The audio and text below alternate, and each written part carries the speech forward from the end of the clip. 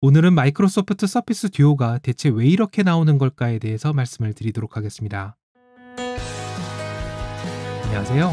얼마 전에 마이크로소프트 서피스 듀오가 정식으로 발표가 됐었죠. 제가 서피스 듀오의 성공이 쉽지 않을 것 같아 보이는 이유에 대한 영상을 올렸던 바로 그날이었는데요.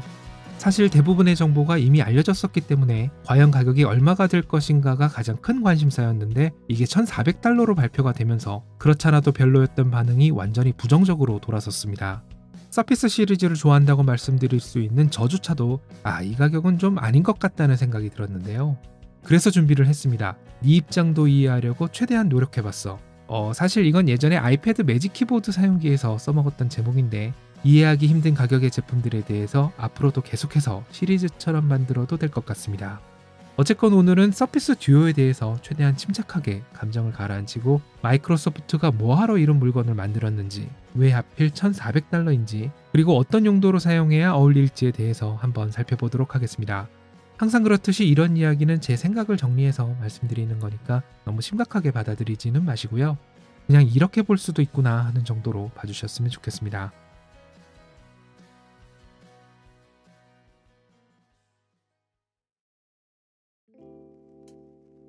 먼저 서피스 듀오에 대해서 잘 모르시는 분들을 위해서 아주 간단하게 설명을 드리자면요. 일단 서피스 듀오는 마이크로소프트에서 만들었지만 윈도우가 아니라 안드로이드로 구동이 되는 제품이고요. 삼성 갤럭시 폴드처럼 하나의 화면이 휘어져서 접히는 게 아니라 4대3 비율의 5.6인치 화면이 양쪽에 하나씩 자리를 잡고 있는 dual screen 형태로 되어 있습니다. 두께는 펼쳤을 때 4.8mm, 접었을 때가 9.9mm인데요. 4.8mm는 현재 기준으로 모바일 기기 중에서 가장 얇은 두께라고 합니다. 그리고 기존의 모든 서피스 시리즈처럼 서피스 펜을 사용할 수 있습니다. 하지만 독특한 형태를 하고 있다는 것 빼고는 거의 대부분의 사양이 상당히 떨어지는 편인데요. 일단 프로세서가 한참 철이 지난 퀄컴 스냅드래곤 855에 램이 6기가이고 storage는 256기가까지 가능하지만 micro SD 카드로 확장을 할 수는 없습니다. 카메라는 후면 카메라 없이 전면 카메라 하나밖에 없고 모노 스피커에 NFC 지원도 안 되고 무선 충전도 불가능하고 이어폰 잭도 없고 색상도 흰색 한 가지밖에 없고요. 5G를 지원하지 않는 데다가 얇은 두께 때문인지 배터리도 3460mAh밖에 안 됩니다. 그리고 이런 사양을 가진 서피스 듀오의 가격이 1,400달러인데요. 이쯤 되면 뭐야 이런 걸 누가 이 가격에 사냐 하시겠지만 가격에 대해서는 조금 이따가 더 자세하게 살펴보도록 하고요. 어쨌건 아무리 봐도 이건 대부분의 사람들이 매력을 느낄 만한 제품이 전혀 아닌 것 같은데 그럼 마이크로소프트는 뭐하러 이런 물건을 만들었을까요? 마이크로소프트에서 만드는 서피스 시리즈에 대해서 이야기를 하자면 마이크로소프트라는 회사 자체에 대해서 먼저 말씀을 드리지 않을 수가 없는데요. 첫 번째로 말씀드리고 싶은 건 마이크로소프트의 수익이 대부분 기업으로부터 나온다는 점입니다. 다시 말해서 수익의 상당 부분이 생산성을 위한 제품이나 서비스에 의존하고 있기 때문에 제품의 방향이 일반 소비자들이 이해하기 어려운 쪽으로 흘러가는 경우가 굉장히 많습니다.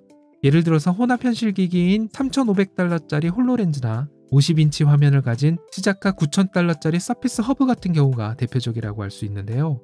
일반 소비자들 입장에서는 이 가격에 누가 이런 제품을 살까 싶지만 사실 여러 일반적인 기업뿐만 아니라 의료나 군수같이 특수한 분야에서도 아주 인기가 많은 제품입니다. 두 번째는 서피스 시리즈가 시장에서 독특한 위치에 있다는 점입니다.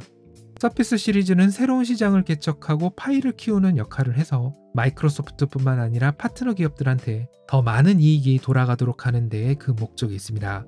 그래서 이렇게 약간 관점을 달리해서 보면 마이크로소프트가 서피스 듀오를 왜 이렇게 만들었는지 조금은 이해하실 수가 있을 텐데요. 하지만 가장 결정적인 게 하나 남아있죠. 바로 가격입니다. 결론부터 말씀드리자면 저는 여전히 이 1400달러라는 가격이 적당하다고 생각하지는 않는데요. 하지만 그래도 왜 하필 1400달러일까라는 걸 최대한 추측을 해봤습니다. 일단 현재 시점에서 서피스 듀오의 dual screen이랑 비교할 만한 스마트폰, 그러니까 우리가 알고 있는 일반적인 스마트폰이 아니라 dual screen이나 foldable screen을 가진 제품은 크게 세 가지가 있는데요. 첫 번째는 LG 벨벳입니다. 미국에서 LG 벨벳의 가격은 본체가 600달러이고 dual screen이 200달러, 그래서 총 800달러인데요. dual screen이 일체형이 아니라 플라스틱 재질의 악세사리 형태인데다가 서피스 듀오처럼 OS 차원에서 최적화 작업을 한 것도 아니기 때문에 하드웨어 측면뿐만 아니라 소프트웨어 측면에서도 비슷한 가격대의 제품이라고 하기엔 좀 그렇고요. 두 번째는 갤럭시 폴드인데 이번에 새로 나온 Z 폴드 2의 미국 공식 가격이 2,000달러거든요. 서피스 듀오 256기가짜리가 1,500달러니까 아이폰 SE가 400달러인 걸 생각하면 돈 조금 더 보태서 차라리 갤럭시 폴드를 산다고 하기엔 500달러 차이가 좀 큰 것 같고요. 마지막으로 갤럭시 Z 플립의 미국 발매 가격이 1,400달러, 그리고 비슷한 형태의 모토롤라 레이저가 1,500달러였는데요. 저는 아무래도 Microsoft가 이 정도의 가격대를 기준점으로 삼은 게 아닌가 싶습니다. 물론 전반적인 사양도 떨어지고 편의 기능도 거의 없긴 하지만 완전히 새로운 형태의 dual screen이라는 점 그리고 개발 비용이 많이 들어갈 수밖에 없는 1세대 제품이라는 점에서 Microsoft가 가격을 마냥 저렴하게 측정할 수는 없었을 것 같습니다. 그런데 아무리 100번 양보를 한다고 해도 여전히 2,400달러라는 가격이 너무 비싸게 느껴지는 이유가 있습니다. 아무리 Surface Duo가 새로운 형태의 제품인데다가 끝내주는 힌지에 유리로 뒤덮여 있고 고급스러운 마감이 되어 있다고 해도 여전히 이 가격이 별로 납득이 되지 않는 이유는 우리가 이미 미래를 알고 있기 때문입니다. 다시 말해서 dual screen이라는 건 현재 시점에서 어쩔 수 없이 현실이랑 타협한 형태인 거지 결국 언젠가는 foldable display로 바뀌게 될 거라는 거죠. 화면이 달려있는 Surface 기기의 공통점은 첫 번째가 3대2 비율의 화면이라는 점, 그리고 두 번째가 Surface Pen을 지원한다는 점인데요. 4대3 비율의 직사각형이 두 개면 3대2 비율이 되죠. Surface Duo가 접었을 때 4대3, 펼쳤을 때 3대2 비율이라는 것 역시 언젠가는 foldable display가 탑재될 거라는 걸 염두에 둔 설계라고 할 수 있습니다. 다시 말해서 언젠가 Surface Pen을 사용할 수 있을 정도의 내구성을 가진 foldable display가 널리 사용된다면 dual screen 제품은 시장에서 사라질 수도 있을 텐데요. 하지만 관건은 foldable display가 과연 얼마나 빨리 보급이 될 수 있을까 하는 점입니다. 만약 생각보다 빨리 가격이 내려가서 금세 대중화가 된다면 dual screen을 가진 제품은 옛날 시티폰 신세가 될 거고요. 반대로 foldable display의 보급이 늦어지게 된다면 하이브리드 엔진이 들어간 자동차처럼 의외로 오랫동안 하나의 카테고리를 차지하게 될 수도 있을 것 같습니다. Surface Duo는 앞에서 말씀드렸던 HoloLens나 Surface Hub 같은 제품들처럼 가격이 비싸더라도 용도만 확실하다면 충분히 해당 제품에 대한 수요가 있을 텐데요. 사실 Surface Duo는 가격도 가격이지만 제품의 용도가 명확하지 않다는 점도 소비자들이 이 제품을 회의적으로 보게 하는 큰 원인 중 하나라고 생각합니다. 다시 말해서 그래 좋아 사양이 딸리는 것도 그렇고 가격도 그래 뭐 그렇다 치고 그런데 이걸 대체 어디에 써먹냐는 거죠. Microsoft도 이걸 잘 알고 있기 때문인지 dual screen을 어떻게 활용할 수 있는지에 대해서 홍보를 계속해서 진행하고 있는데요.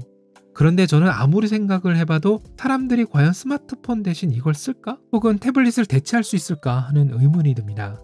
물론 있으면 좋기야 하겠지만 스마트폰이나 태블릿을 가지고 다니는 사람이 Surface Duo를 추가로 또 들고 다닐 것 같지는 않거든요. 하지만 Surface Pro 시리즈 같은 윈도 태블릿이 랩탑에 비해서 본격적으로 뭔가 작업을 하기에는 부족하고 태블릿처럼 쓰기엔 불편하지만 그 중간에서 나름의 용도가 있는 것처럼 Surface Duo도 아마 비슷하지 않을까 싶은데요. 제 생각에는 회사 임원들이 Surface Duo를 마치 디지털 수첩처럼 사용하는 게 그나마 가장 그럴듯한 시나리오인 것 같습니다. 임원 정도 되면 실무자들처럼 통화량이 아주 많지도 않을 거고요. dual screen이기 때문에 각종 보고서를 보기에도 좋을 것 같고 간단하게 메모를 한다거나 화상회의를 하는 용도로도 어울릴 것 같습니다. Microsoft가 Surface Duo를 공식적으로 발표하기 전에 내부 관계자들이 Surface Duo를 사용하는 모습을 여러 번 보여줬었는데요. 두 명의 아이가 하나의 Surface Duo에서 동시에 각각 다른 앱을 사용한다거나 메인 요리랑 디저트 사진을 동시에 펼쳐놓고 요리를 하는 모습은 약간 현실적이지가 않아서 좀 억지스럽다는 생각이 들었습니다. 그런데 가장 인상적이었던 모습은 마이크로소프트 CEO인 사티아 나델라가 서피스 듀오를 펼치고 다른 사람이랑 화면을 같이 보면서 이야기를 하는 사진이었는데요. 아마 이런 모습이 서피스 듀오에 가장 어울릴 만한 장면이 아닌가 싶습니다. 앞에서 이런저런 말씀을 드렸지만 결국 가장 중요한 건 그래서 구입을 할 만한 제품인가 하는 점일 텐데요. 솔직히 말씀을 드리자면 저는 아직 확실히 잘 서질 않습니다. 사실 저는 1000달러 정도로 생각을 하고 있었거든요. 그리고 이 1000달러라는 것도 이 가격에 나오면 무조건 산다 했던 게 아니라 1000달러 정도면 한번 사볼까 하는 정도였기 때문에 좀 헛웃음이 나더라고요. 어쨌건 전 아무리 생각해도 이 가격에 Surface Duo를 구입하는 건 좀 아닌 것 같고요. 보통 미국에서 Surface 시리즈들이 발매하고 나서 몇 개월 지나면 꽤 할인을 해서 많이 팔거든요. 그리고 제가 Surface Duo 판매 페이지를 자세히 살펴봤더니 60일 동안 최저가 보장을 해준다는 문구가 있었는데요. 그런데 9월 10일이 정식 발매일이고 여기에 60일을 더하면 11월 10일. 그러니까 블랙 프라이데이 바로 직전이기 때문에 아마 이번 연말 쇼핑 시즌에 1,400달러보다 할인해서 더 저렴하게 판매를 하지 않을까 싶습니다. 어쨌거나 오래간만에 색다른 기기가 나와서 개인적으로 상당히 반갑긴 했지만 이 가격은 아무리 shield를 쳐봐도 저 스스로도 별로 납득이 되지가 않고요. 나중에 가격이 좀 떨어지거나 2세대 혹은 3세대 정도 되면 한 번쯤 구입해 볼 만하지 않을까 싶습니다.